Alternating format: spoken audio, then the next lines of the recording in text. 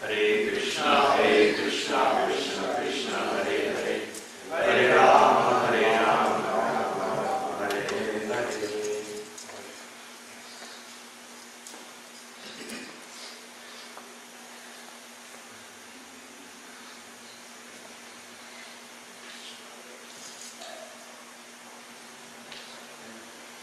Discharging batteries.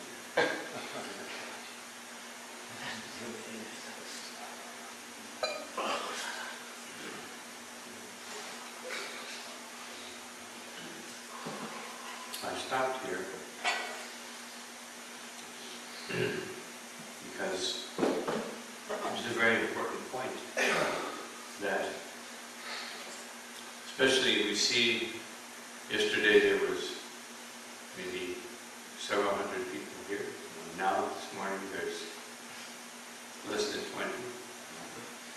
So sometimes we think that the spiritual master comes and goes.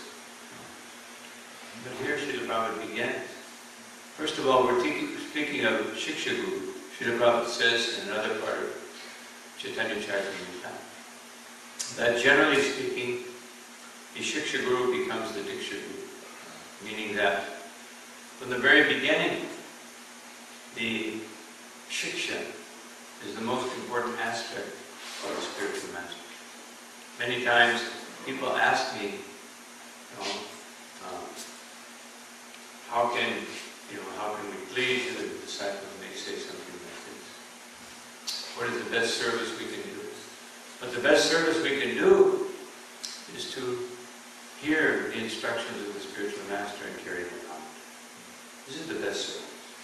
There's no, it's not like, although all, all the things that one may do in service of the spiritual master are very important, very uh, wonderful means of communicating one's desire to serve.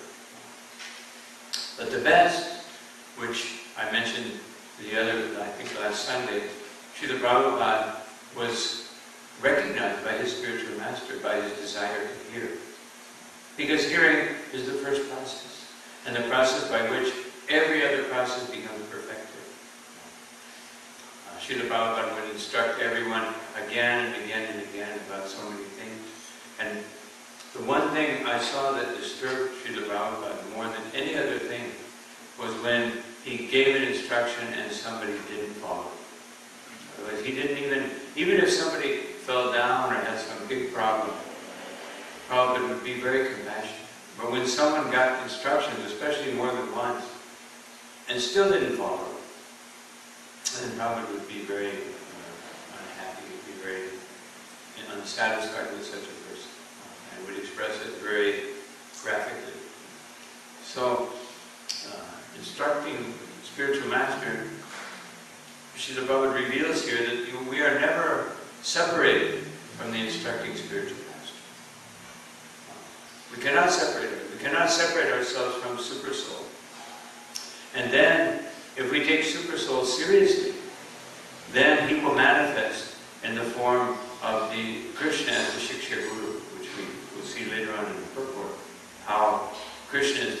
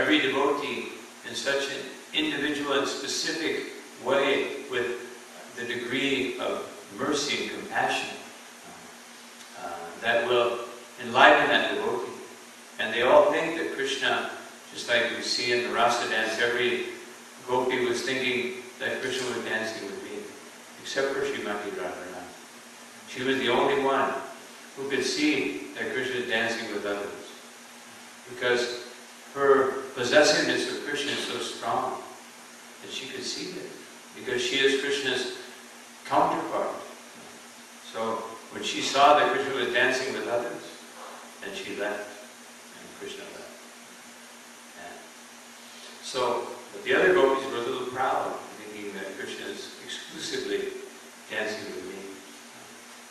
And so, the point is that uh, Krishna, there is a best devotee. And who is that best devotee? That devotee who reveals Krishna to us. This is what's the meaning of this verse. Antaryami Bhakta Shrestha. The Bhakta Shrestha, the best devotee. Just like Krishna, when he instructed in, in the Bhagavatam, he said that Uddhava is definitely the topmost devotee. Because no one is so intimate to me as Uddhava. Even Lakshmi, even Brahma and Shiva and Lakshmi are not so dear. Sometimes I'm with them, and sometimes I instruct them. But with Uddhava, we are friends. Of course, Krishna had that same intimacy with Arjuna.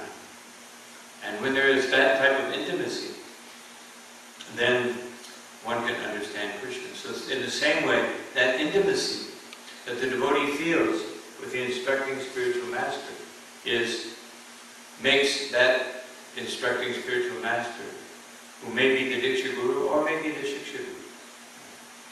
Uh, in traditional, uh, and Srila Prabhupada, when he refers to this, in traditional Vaishnavism, the main instructing guru is the Diksha Guru because the disciples live with the Diksha Guru for so many years in Gurukula, and, and they may live in his ashram. And so he is the main, he's the Diksha Guru and the Shiksha Guru. But in a society, in a plural society like we have, so many people giving uh, initiation, so many senior devotees traveling around, so many senior devotees in each yatra, instructing the other devotees.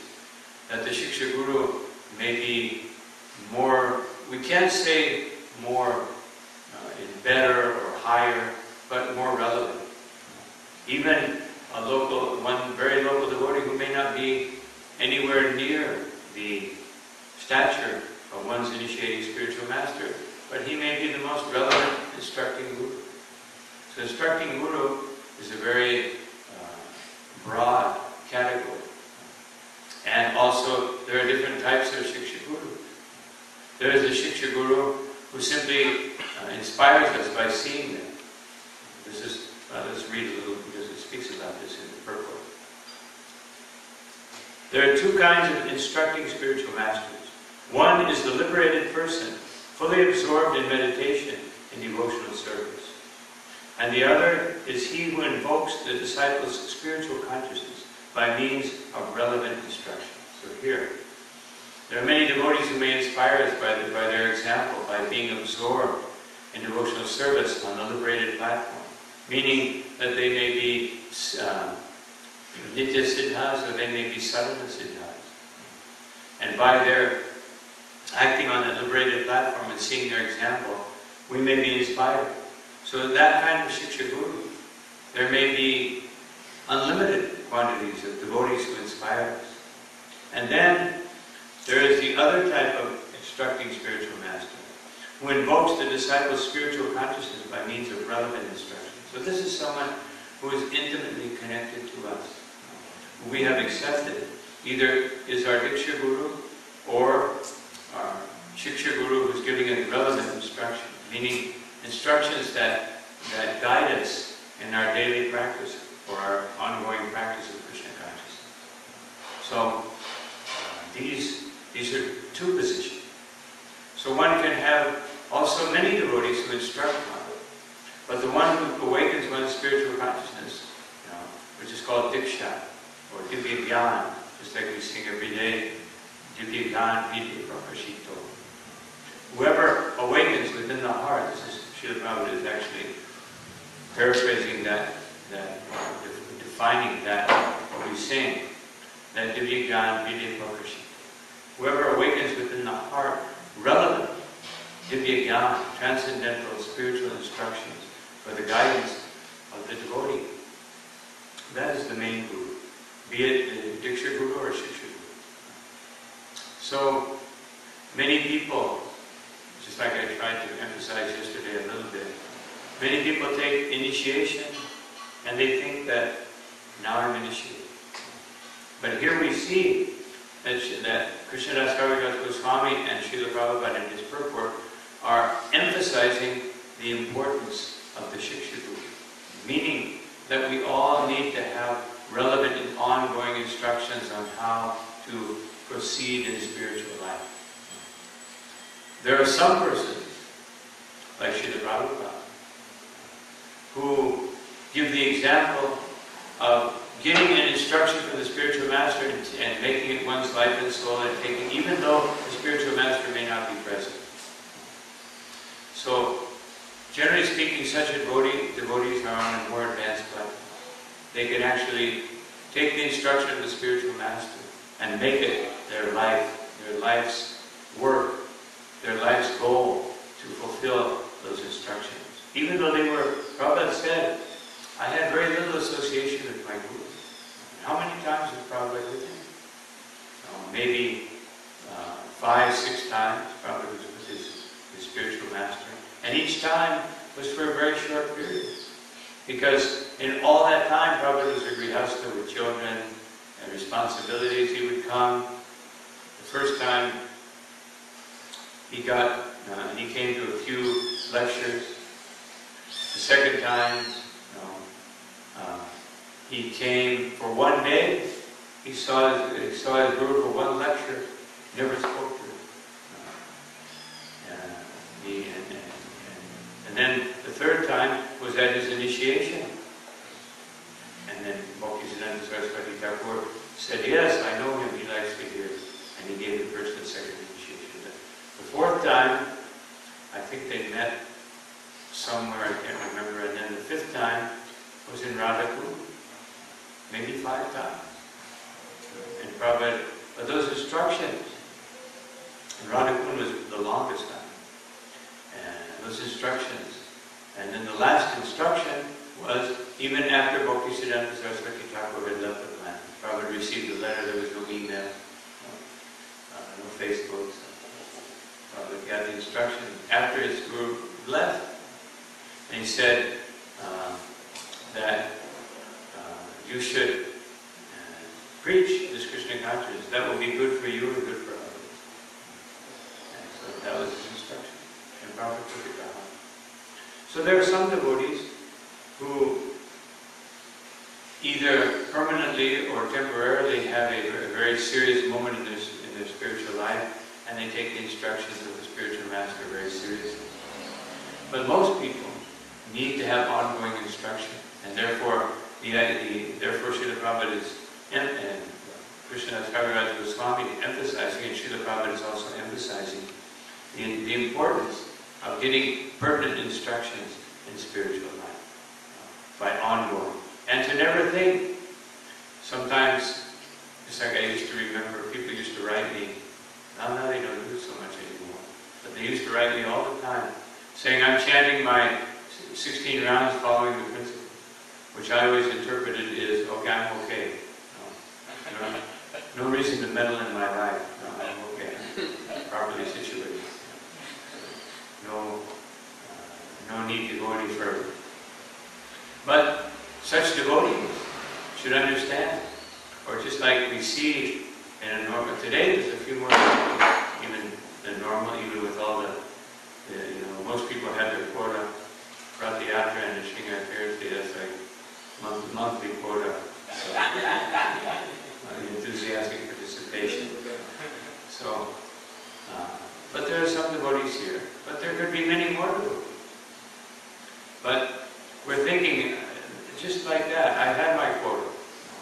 Because as I've mentioned on several occasions, there are two ways to see spiritual life. That I have my life and I fit in, I fit into my life, my spirit, what I call my spiritual life. Which means I go on Sunday, or I go on this day, or I go and do my service once a week, twice a week, whatever it may be, or once a month, whatever. That's one way. But that's not a very uh, efficient way to advance the spiritual Now, more efficient is that I have my spiritual life, which is everything. And then I have some duties which pertain to the body and the mind, and I, I have to perform. So my mind, psychologically, I need to be married, or I need this, or I need that. And that will help me to advance. But, but, but my reality is that there's only spiritual life. There's nothing else. As Krishna says in Bhagavad Gita, Aham sarvasya sarvam that I am the source of everything material and spiritual. So there's nothing outside the purview or the realm of Krishna consciousness. Nothing. There's nothing. You can't find anything outside of Krishna. And this particular verse is emphasizing that point. That Paramatma is always there. The instruction of Bhagavad Gita is always weighing on our uh, life and on our consciousness. So we should uh, take it very seriously. And that's what Peter Prabhupada is emphasizing in this first part. So I'll just continue. The instructions in the science of devotion of, of devotion are differentiated in terms of the objective and subjective ways of understanding. So let us analyze that a little bit. It might, might not be so easy to understand this early in the morning. So, what does that mean? It means that objectively means that there are specific instructions on how to behave and how to perform the worship service. You do the offering at that this time. You cook. Uh, you clean the floor. This is objective. And subjective means subjective instructions means that the internal development, objective, objective, and subjective. Objective means what I do as, a, as an external discipline, how I carry out my devotional service. And subjective means how do I perform internally. So both of these things are emphasized by Srila Prabhupada. Both are equally important. And actually, to, so that the objective response to devotional service or to the science of devotion uh, be proper, the subjective or the internal realization must be constantly developed. Otherwise, uh, devotional service becomes a routine. We, have, we all have that tendency. Mostly with japa. We become very, you know, I think if anybody analyzes oneself, we will find that this routine, this tendency to make japa routine, or any service. I hear many times people say, you know, I know I shouldn't do it, but it just seems like devotional service is the same thing every day. That's because one is on the, the objective platform without subjective development. Without the subjective development, even in the spiritual world, Sri Sanatana Goswami points out that in the spiritual world, also Krishna is doing the same thing every day. But when he does it, by his Leela Shakti, the devotees perceive the next day. The next day that everything is completely new, completely different. Krishna is new. Krishna is Navayamanam Chak. He's also new every day. He's very, uh, everything about him, is smile, everything is new and refreshing and different. Of course, Krishna is able to create unlimited uh, variety just in the spiritual spiritual realm, on the spiritual platform. So, um, objective and subjective ways of understanding. Both things should be there, internal and external. Our external performance of devotional service may depend on certain factors, like health. If we're sick, we can't do that type of external devotional service. If we're getting so old that our body doesn't work anymore, then uh, certain types of service we, can't perform. But subjective, internal devotional service has to be very strong because at some point in time, we will have to rely on the holy name. Maybe we'll run out of money. Maybe we'll have a, a bad situation in life. And then if there's no subjective, then you will put it, be put into anxiety and you'll think, now I have to stop chanting and start working. I have to have more money. I have to have this, I have to have that. Because we're on the external path. So both things have to be developed nicely. Internal development means that we hear about Krishna. We hear about Krishna's pastimes. We hear about Sri Chaitanya Mahaprabhu's pastimes. And then our internal development gives us strength for the most important activity, which is, which is chanting the holy name. If you hear enough about Krishna, then chanting will be very relishable. Because the, the chanting in itself will invoke remembrance of Krishna's forms, qualities, and pastimes. If you don't hear about these things regularly, then chanting will be very difficult. Very difficult. So, uh, just read on a little more. The Acharya, in the true sense of the term, who is authorized to deliver Krishna, enriches the disciple with full spiritual knowledge and thus awakens him to the activities of devotional service. So, combining that with what we just spoke about, it means that the spiritual master must, uh, as Srila Prabhupada said one time, must break his head, mean devise different means by which the disciple can develop you know, and, and, and be enlivened in Krishna consciousness. Sometimes we're not so expert because we're dealing with so many people in so many different places. It's hard to keep everybody on. Therefore, everybody must rely on those Shiksha Gurus that are most relevant to their life. Because this is an active principle. Later on, Chaitanya Charitamrita, Krishnadas Kaviraj Goswami says that the um, spiritual master is the active principle in devotional life. And that principle that, makes devotion manifest within our hearts and within our lives and within our activities. So, then Srila Prabhupada says, when by learning from the self-realized spiritual master, one actually engages himself in the service of Lord Vishnu, functional devotional service began. What is that called?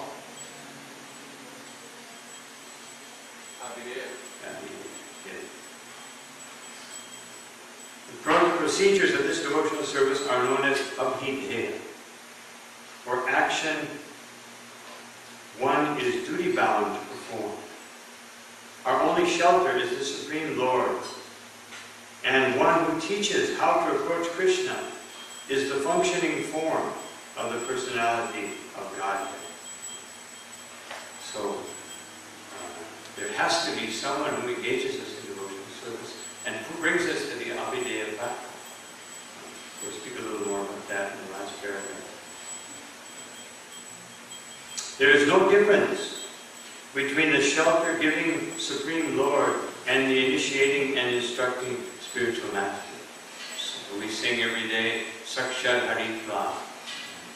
That directly seeing Hari Haritvena, that uh, there is no difference between you, Tva, and Hari. This is what Krishna Chakravarti said. That because you are the functional form. You are the manifestation of Krishna who tells us what to do. Through parampara, of course, not that, you know, it just comes from nowhere. Although I was definitely reading some purports yesterday uh, where I saw that Vishwanath Chakravarti Thakur gave some ideas when I was reading about the pastime in the Singha but Srila Prabhupada expanded it in such a way that it wasn't just fluffing out what Vishwanath said, he actually added in his own realization. So when someone is on the platform of Srila Prabhupada, then we will have realizations that come directly from Goloka Vrindavan.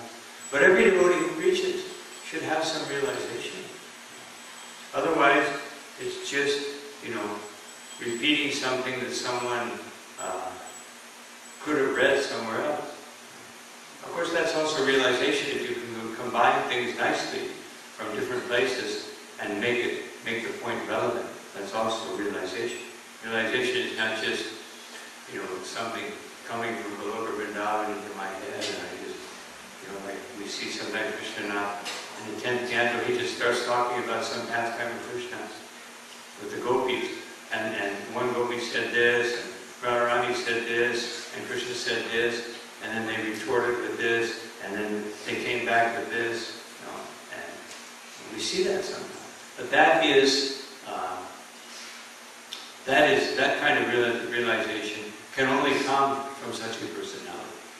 If we try to do that, then we will simply speculate. If one foolishly discriminates between them, he commits an offense in the discharge of devotional service. But now comes a very, very important paragraph. We should try to hear this very carefully. Very important instruction. Srila Sanatana Goswami is the ideal spiritual master, for he delivers one the shelter of the lotus feet of Madana Mohan. Even though one is unable to travel on the field of Vrindavan, do for, now this is important how Prabhupada says this. He doesn't say travel to Vrindavan. Travel on the field of Vrindavan. What does that mean? It means that we could be situated in Vrindavan right here in uh, Chagwana, London village. That on the field of Vrindavan means consciousness, spiritual consciousness, the consciousness of Vrindavan, which Advaita Acharya said to Sri Chaitanya Mahaprabhu, that my dear Lord, what does it matter if you go to Vrindavan? Because wherever you are, that is Vrindavan. So be on the field of Vrindavan. Very interesting phrase from Srila Prabhupada. Due, for, to forgetfulness of his relationship with the Supreme Personality of Godhead, um, um, due to that forgetfulness, he cannot, he's not unable, he's unable to travel. Otherwise, it means that if we're unable by our own level of consciousness to be situated in Vrindavan on that field, here's what we do. He can get adequate opportunity to stay in Vrindavan and derive all spiritual benefits by the mercy of Sanatana Goswami. So this is called uh, Sambandha. The, the Madana Mohan deity is the Sambandha deity. And Sri Sanatana Goswami is the Sambandha Acharya.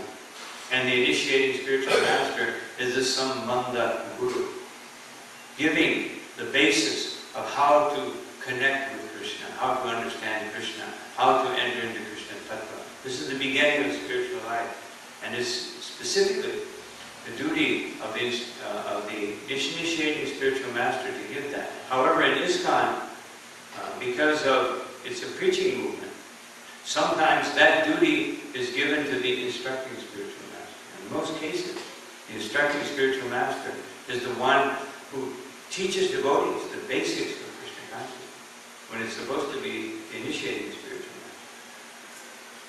So these roles get very interchanged in, in the context and the complexity of our preaching movement.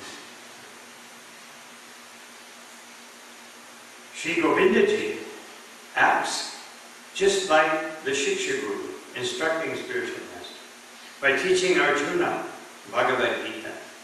Is very interesting. He is the original preceptor, for he gives us instructions and an opportunity to serve him. And this is the last part, which is very interesting.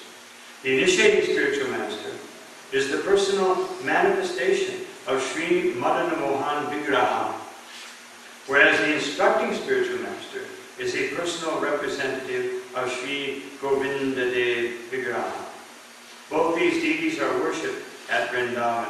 Sri Gopinath is the ultimate attraction in spiritual realization.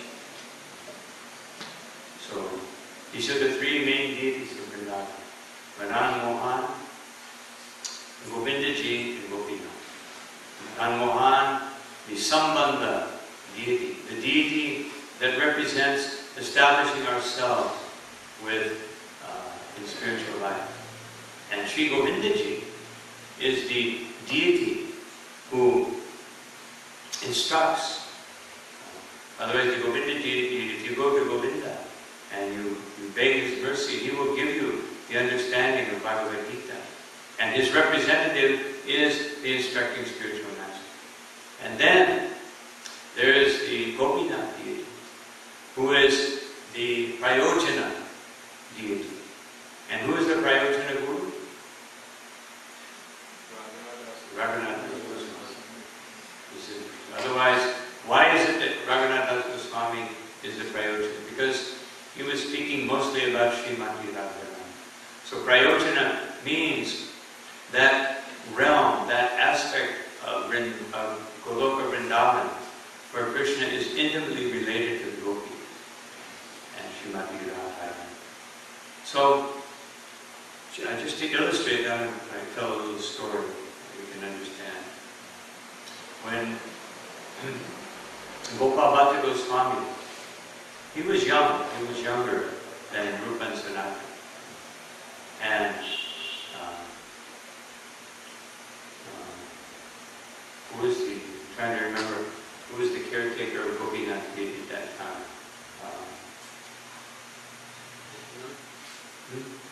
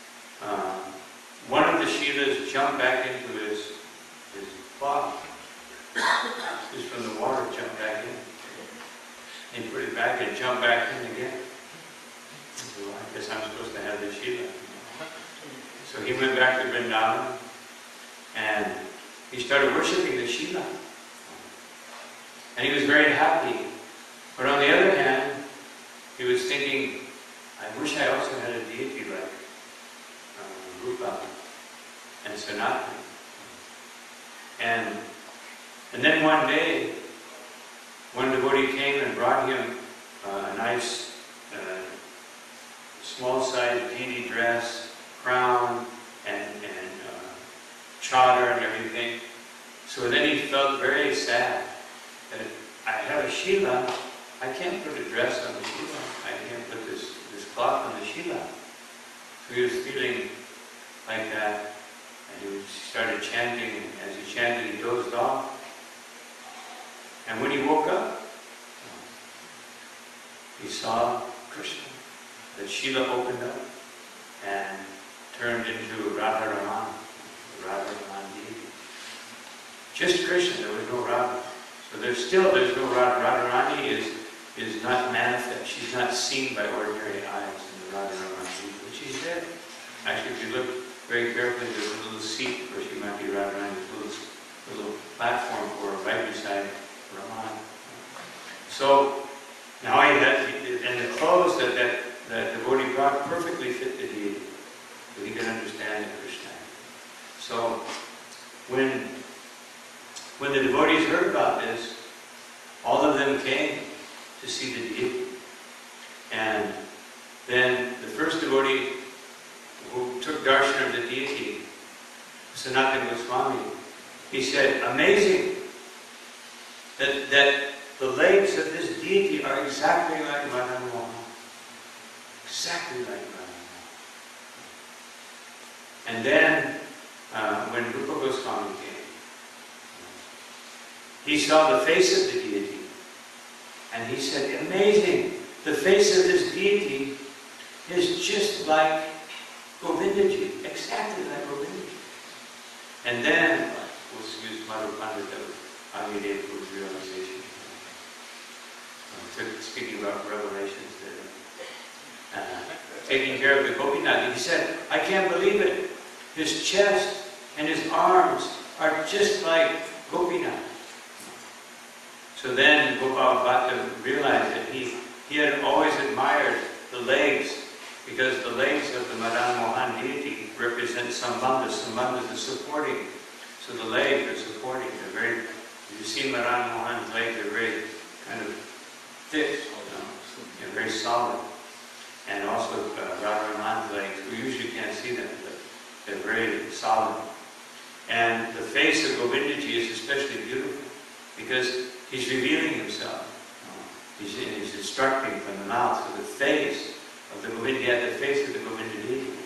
And then the chest and the arms were just like Gopinath because with the chest and the arms, Gopinath embraces the, the gopi.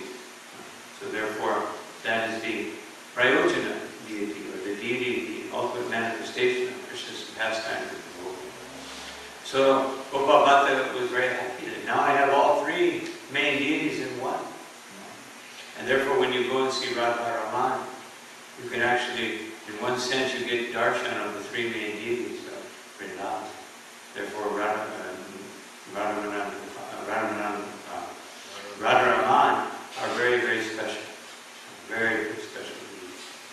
So I just told that story to show how what Srila Prabhupada is speaking about here in this last purport, in this last part of the purport here, that the Shiksha Guru, Gopi, uh, uh, Govinda, uh, how does Arjuna, when he's completely bewildered, completely bewildered at the end of the first chapter of Bhagavad Gita, what does he say? O Govinda.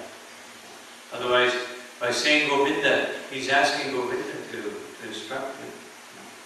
O Govinda. Srila Prabhupada comments that he was thinking, Govinda, you should please me. Govinda means, uh, Srila Prabhupada says in the purport, verses 32 to 35, first chapter, that Govindaji, you should uh, please me, because Govinda means he who pleases the senses. Or Prabhupada said, it is not Govinda's duty to please our senses. It is our duty to please Govinda's senses. So, uh, that is the point that I was making.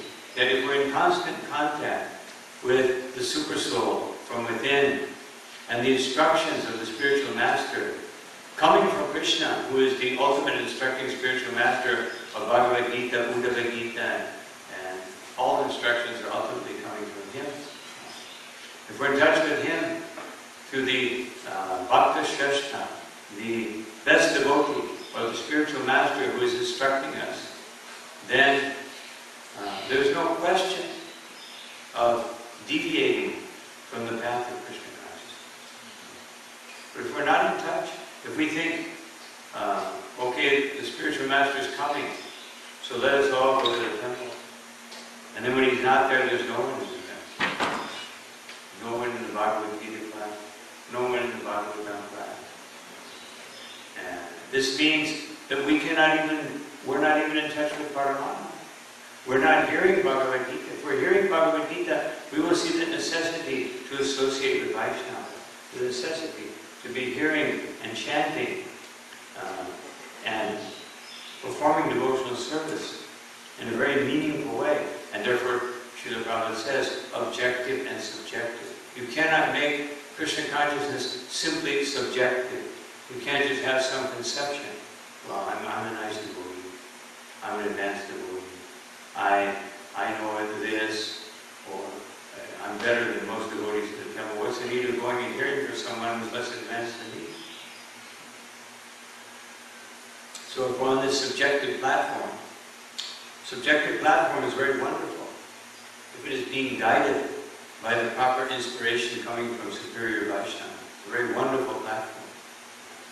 Because it's what keeps us uh, happy in devotional service. And if we, but if we're, if we're just on that platform by our own realization, which may not be very deep, then our objective, because from the subjective platform, the objective platform will manifest. So we can actually uh, evaluate our subjective understanding of Krishna consciousness by how am I performing devotional service, just like Srila Prabhupada says in the teachings of Kapila Dev, that every day, every night, one should evaluate what did I do for Krishna? What did I do for him? This way, uh, we can see by our objective manifestation of devotional service what is my subjective realization and understanding. If I do the minimum, then my subjective platform is not raised. It means I'm not hearing and chanting properly. If I'm doing the minimum, if I can't find enough service, if I want to do more, I'm begging for service, and I'm begging, and I want to chant the holy name, not that I, you know, thank God I'm finished with these rounds. We don't think like that, we think, I would like to chant all day, but unfortunately I have to go and do the puja, I have to go to work, or whatever may be my specific function, then we can understand that my subjective platform, my internal development is, is, is happening, is going on. So these both things have to be, as I mentioned before. So I wanted to close with one, uh, two little pastimes, because Srila Prabhupada emphasizes Sri Sanatana Goswami, meaning that he's emphasizing the basic platform of devotional service as the foundation of our devotion to Krishna. So, Sri Sanatana Goswami, when he was, when he uh, first, uh, well, for, well, let's go to the first, first part of that. Sanatana Goswami, the, the Madan Mohan deity was actually worshipped. Another name for Madan Mohan is Madan Gopal. So, Sri Advaitacharya had these deities of Madan Gopal. And those deities somehow or another disappeared. And it was Sanatana Goswami that found them. And he found those deities and he kept them. And he kept them in a tree. And so there are different versions of story, but the, most authorized one I found, which means more senior Vaishnavas repeated it in this way. You know, because sometimes we elaborate on things and we extrapolate and make them more humanly interesting. Um, but anyway, Sri Sanatana Goswami was, he was a Goswami. So he would make some chapatis and some simple sabji, sometimes without spices and without salt. So uh, he was feeling very bad. And, you know, some people say that the deity complained, you know, maybe he did. Why aren't you giving me any salt? And Sanatana Goswami said, I'm very old, what am I supposed to do? But I think the more authorized version is that he was feeling very bad, and I'm old, and I have to serve the deity, and I have to write, and I have to associate with the, with uh, Rupa and the other Goswamis in order to reveal, which our duty. The duty given to us uh, by Chaitanya Mahaprabhu was to reveal Vrindavan. So how can I go out and beg for, for my deity? You don't have time. So because he was feeling bad, then Madan Mohan, he made an arrangement that this one barge boat which was coming up the Yamuna, at that time the Yamuna was very full, not like nowadays. Practically, they cut off the Yamuna and it's sewer water. So black, you know. Yamuna is supposed to be black, but not like nowadays. No. Not gray. It's not even black, it's kind of gray. So, uh, of course, they're, they're making some advancement on bringing back the original Yamuna. So, this man's boat got stuck right near where Sanatana Goswami was. So he, he was in distress. It was a boat full of merchandise. And Uh, Some, some version of the story said it also had salt. And even one version is that it was a boat full of salt. But anyway, the man, the, the very wealthy merchant whose boat it was, started asking people to help, and they said, "Oh, it's very difficult. You know, you have a big boat, and I mean, even if we got so many people together, we don't think we can dislodge it. And this time of year, the moon is low, and there are many sand, sandbanks. Even if we get past one, we'll probably hit another. But you can go to Sanatana Goswami, because Srila Prabhupada explained, whenever there's a problem in Vrindavan, everybody went to Sanatana Goswami to get the solution. So we, in spiritual life, go to the representative of Sanatana Goswami, will get the solution. So he went to Sanatana and Sanatana said, What can I do? I, here's my deity, you can pray to my deity. And of course, the man saw deities in a tree. Didn't even have a, a roof. And the man prayed, and by Sanatana Goswami's inspiration, that night there was a huge storm. And the storm, it rained so much that the Yamuna filled up, and the boat was released. And the man was able to get the boat to the market and made huge profits. And he came back and he offered Sanatana Goswami, let me build you a beautiful temple. Because it was your deity that saved me. So he built a beautiful temple for uh, uh, Mohan. And then Sanatana Goswami every day, he would see some boys in, in, in Revati Raman. Uh, he would see devotees, boy, young boys playing. And one day he saw this exceptionally beautiful boy. This is in Bhakti Ratnakar. And this boy was never seen him before. And then all the boys dispersed, and this one boy ran into the temple. And Sanatana Goswami was so charmed by that boy that he went into the temple. When he looked around, there was no boy. There was only the deity. And so so somehow or another he got out. I didn't see him. So that night, he had a dream.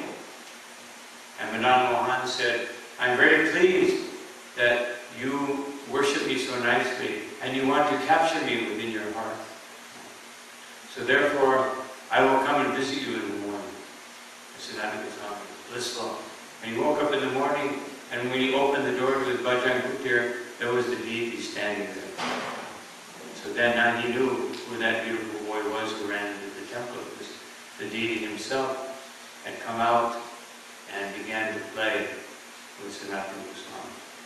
So this is the intimacy that we can have with the instructions coming uh, from the spiritual master, from Paramatma, from Krishna and Bhagavad. If we simply dedicate ourselves, this Krishna wants this intimate relationship with us. He wants it. But we have to be exclusively Mekam Sharanam Vraja Aham We have to give up all unnecessary things, as Krishna says, exclusive devotion to Him, and not have any fear or anxiety that things will not work out. Krishna will take care of us. If we have these ingredients that Krishna requests of us, then uh, that intimacy of our relationship with Krishna starts from that point and becomes deeper and deeper and deeper. So this is the, these are some points on this particular verse of Adi Lila, the nothing respecting spiritual master. I will stop here.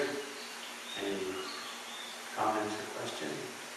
Maharaj, uh, Muslims, when you cut the coconut, and the deities never came there. It sounds a little bit, you know, it, interrupted them nicely. But he cuts that coconut for the deity. What happens to him now? Because uh, uh, Guru can confide in him and encourage him some more.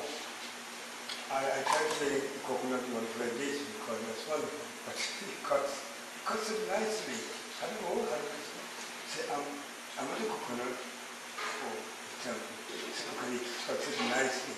So, so the only this is to cut it and then just off it, but he recently when I did that, I did that, cut for coconut oil this. Thank you very much. So I'm thinking about this Muslim man, you know, what, what's his benefit? And to confine it in, What's the benefit of uh, of offering a coconut? he's he's confident and he's, you know, concrete, it's concrete to the deity, but he doesn't know what he's doing, but he's doing that. But that's an offer to deity. You mean the person who cuts it, He has cut it that the Muslim. the- the vendor? Yes. Well, there's the benefit of anyone who does anything for the deity, whether it be consciously or unconsciously, there's some benefit. So exactly what benefit, how much someone benefits from Ajnata Sukriti or from, from, uh, which means devotional service which one has, does, is, is doing unknowingly, or how much benefit there is for someone who doesn't knowingly depends on their consciousness. Just like Raghunath, uh, uh, he was also preparing coconuts for the deity. But he was so conscious he would walk miles to get coconut. And one day he came and brought three coconuts. And he had to go get some other ingredients, so he put the coconuts on top of the door so no one would see them. Because he didn't want them to be seen by anyone. Otherwise, they would think of enjoying the coconut and it would not be offered. But when he came back, he saw some footprints in the doorway.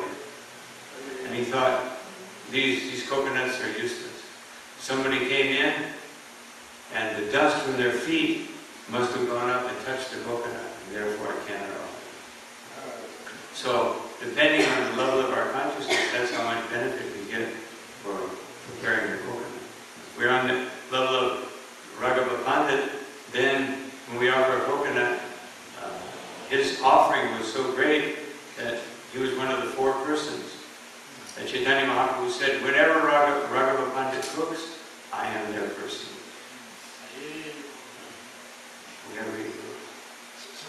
Whenever Mother Sachi offers, I am their person.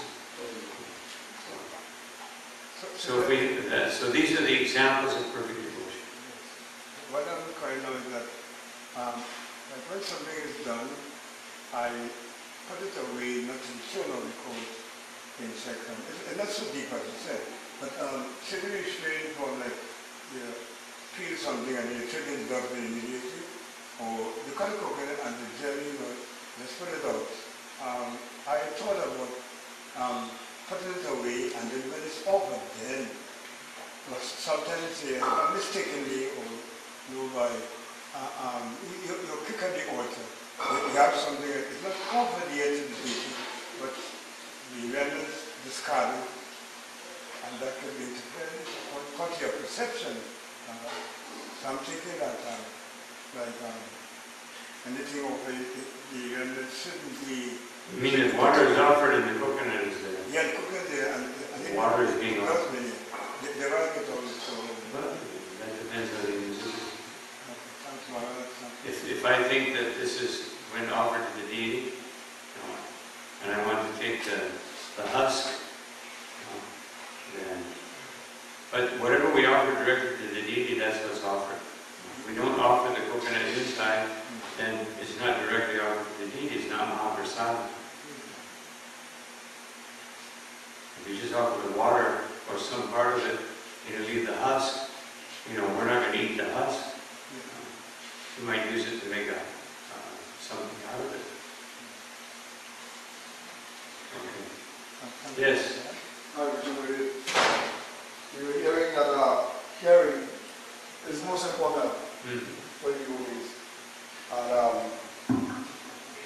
but we're thinking, you know, I, I, I could probably come to a temple like this, and I could hear this and go back home. You know, I could chant uh, Hare Krishna japa sometimes. I could hear, I could do all sorts. But what is the prescribed method of hearing and results of hearing? And hearing attentive. That's real hearing. Prabhupada said one time, he said there's a difference between hearing and listening. Uh, If you just listen to something, it doesn't go into the heart. So therefore, the Bhagavatam says, Satam Kusangam Mama. When we hear in the association of devotees who are very intent on uh, glorifying Krishna, uh, then that hearing will penetrate into the heart. So that's the type of hearing. The more the audience is qualified to uh, convey that sense, that urgency of hearing, the more the speaker is able to reveal Krishna, then the hearing becomes better. But even if Srila Prabhupada sometimes was, was speaking and someone was sleeping, no. It's like one time, uh, Prabhupada was giving a lecture in Los Angeles, and it's very common that devotees would come out, even that happens here anyway, with a bowl full of potatoes or some kind of vegetable, and peeling the potatoes. So Prabhupada says, stop doing that. And, and the devotee said, well, I, Prabhupada said, why are you doing that? He said, well, Prabhupada, otherwise I'll fall asleep. And Prabhupada said, just here. So, what was Prabhupada saying? That, that just here means you have to have the intention of hearing. You have to come with the desire, I want to hear.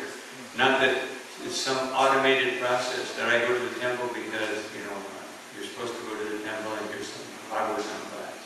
No. You go to hear. I want to hear. I want to know how do we waken up, awaken that desire to hear?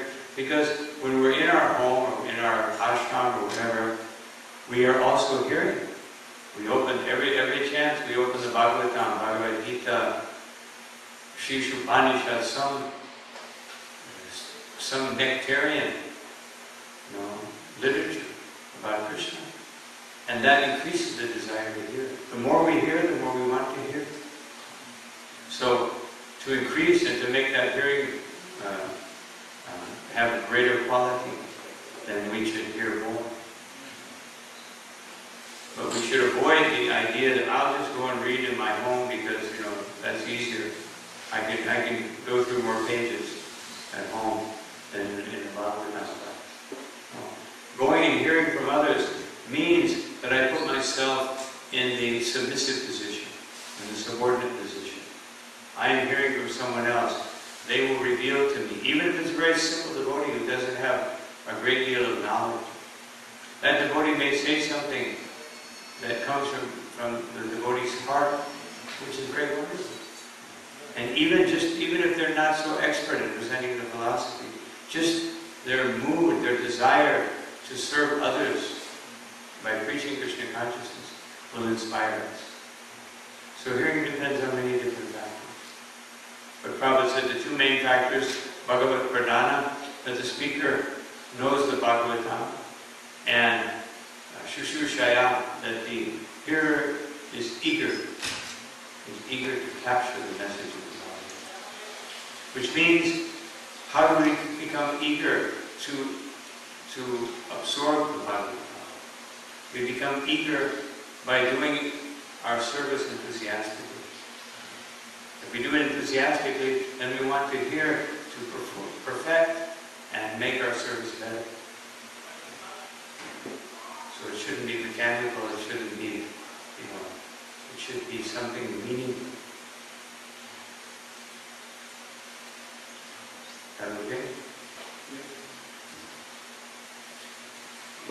other question or comment? So Thank you all very much uh, for uh, accepting me here, giving me your association.